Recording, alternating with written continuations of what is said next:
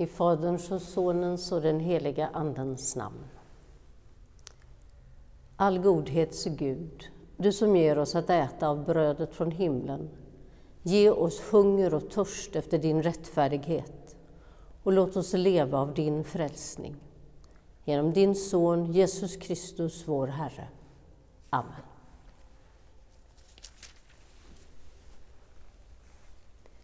Dagens läsning är hämtad från Ordspråksboken.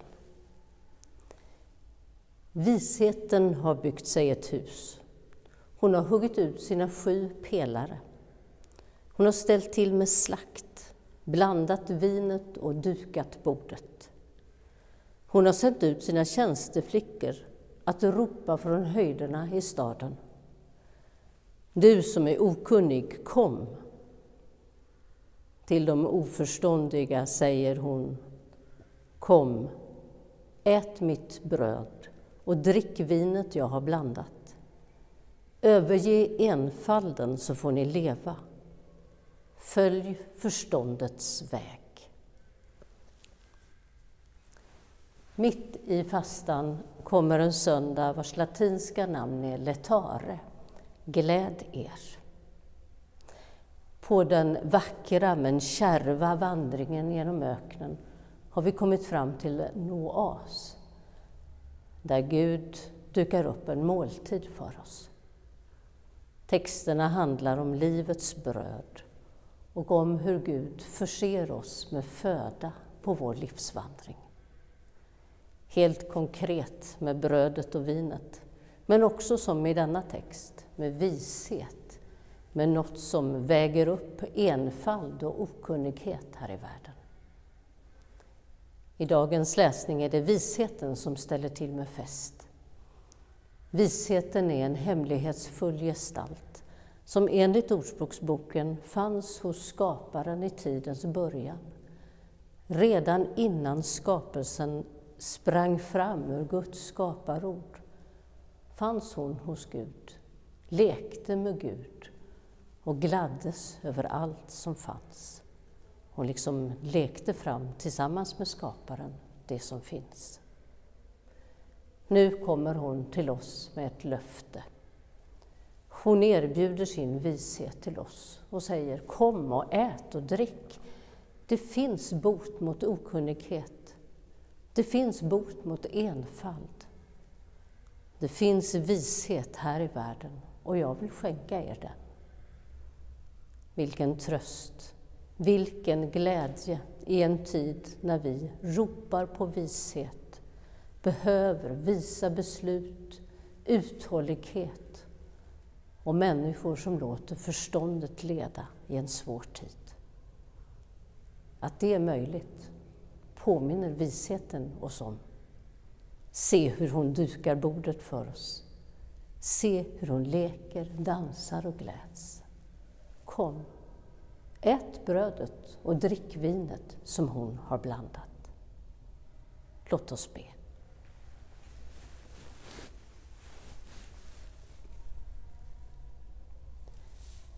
Gud, vi tackar dig för löftet om att det finns vishet i världen. Vi ber dig för oss själva om vishet, mognad och fördjupad insikt om hur vi kan leva våra liv. Vi ber om vishet för världens alla ledare, politiska ledare och andliga ledare. Led dem så att de kan leda oss och föra världen mot en punkt där förstånd, besinning, respekt och omtanke får råda. Vi ber för dem som just nu känner sig pressade och ska fatta svåra beslut. Vi ber för dem som har stort ansvar och känner osäkerhet kring hur ska jag förvalta det ansvaret just nu. Vi ber för dem som har ledaransvar också i vår närhet. Vi ber för situationen i Ukraina. Vi ber för fred och vi ber om uthållighet i kampen för freden. Vi ber för människor som är på flykt och för de som söker sig till vårt land. Vi ber om kraft hos alla de som står vid gränsövergångarna för att ta emot och hjälpa. Vi ber för dem som sörjer och oroliga för vad som har hänt med en anhörig.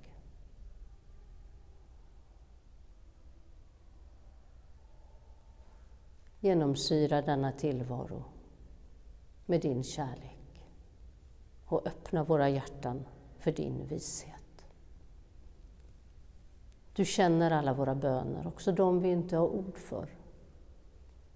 Foga in dem i din Sons förbön för oss alla. Och hör oss när nu vi ber med de ord som han har lärt oss. Vår Fader, du som är i himlen. Låt ditt namn bli helgat. Låt ditt rike komma. Låt din vilja ske på jorden så som i himlen. Ge oss idag det bröd vi behöver och förlåt oss våra skulder, liksom vi har förlåtit dem som står i skuld till oss. Och utsätt oss inte för prövning, utan rädda oss från det onda. Ditt är riket, din är makten och äran i evighet. Amen.